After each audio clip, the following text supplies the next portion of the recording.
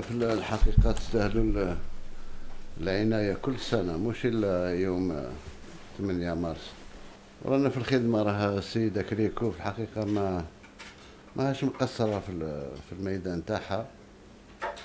نتوما من خلالكم كل النساء اللي متفوقات في عمل ما راني شفت فلاحات راني شفت في في في الوظيفه العمومي في الصناعة في الطب إلى آخره. يعني نتكفلوا بكم وبمشاكلكم لأن باش الإنسان يكون يكون مرتاح ويمارس الشيء اللي عنده عليه مؤهلات لازم يرتاح فكريا ولازم يرتاح ماديا اذا راه السيدة كريكو في الاستماع وكل الملفات مرحبا بها. السيدة الدكتورة فاطمة الزهراء زميت.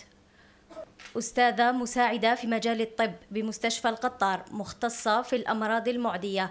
تحصلت على جائزة التميز للمرأة العربية في مجال الطب من قبل جامعة الدول العربية.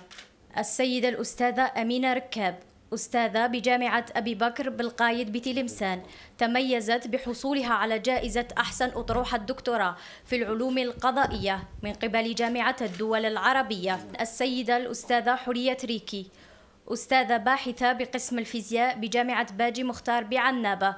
صنفتها جامعة ستانفورد الأمريكية من بين أربعة علماء جزائريين ضمن أفضل العلماء في العالم. السيدة الأستاذة أمينة بوشيخ.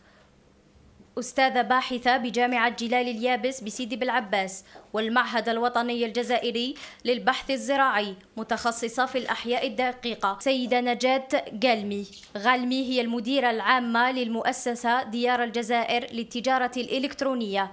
وقد أهلتها خبرتها في الرقمنة إلى تأسيس أول منصة إلكترونية السيدة رزيقة دوفان حرفية من ولاية تيزي في مجال الطرز التقليدي. تميزت إلى جانب احترافها التصميم بالقدرة على التكوين تحصلت على الجائزة الوطنية للصناعة التقليدية والحرف. السيدة عائشة جلاب شاعرة أصيلة بولاية سطيف ومقيمة بولاية أم البواقي تحصلت على جائزة أول نوفمبر 54 900 وألف.